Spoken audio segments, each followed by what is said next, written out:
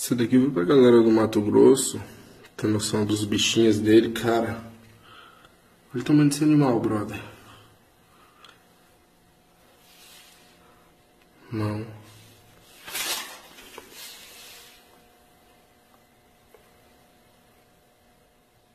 Escada.